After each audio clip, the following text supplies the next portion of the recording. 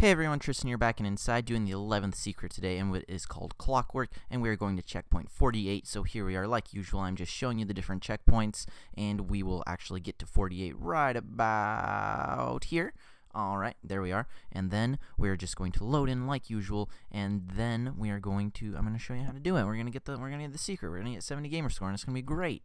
Alright, so here we go. I'm just wading through the water. This was actually one of the more challenging puzzles for me in the game. I don't know why. Once you actually know how to do it, it's pretty easy, and it's actually a really easy one just if you think about it.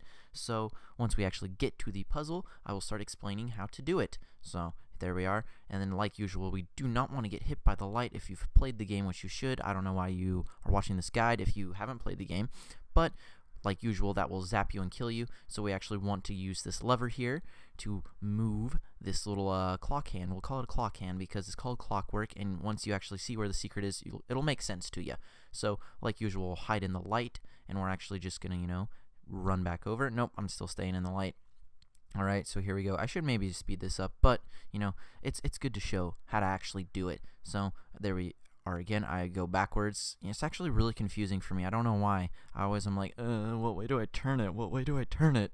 But there we are, and then we're going back to it, and we're moving it a little bit more, just uh, getting as many in as we can, little cranks, and I'm like, I hope I'm in the right place. This is actually a little bit challenging simply because you don't know where the light's are going to start shining, so I actually turn it right there, and then I'm like, all right, that should be good enough. And then you want to, what you want to do, run back to your left, and we're going to actually get back into the water. You want to go where you can swim, so right here, and then you want to dive. Just dive, dive, dive, because you can actually go under right through this little door here, right under where we just were, and our secret is on a similar clock hand, but if we did not turn it, we can't get to it because it's too high out of the water for us. So it's right there. We'll climb on up, grab a piece off for our secret, and we almost fall in the water right there. Goodness gracious, oh my.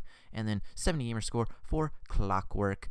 Shadows at Noon. There you are, guys. Thank you for checking out the video. Make sure to like, comment, subscribe, and then check back to Knightly Gaming for more.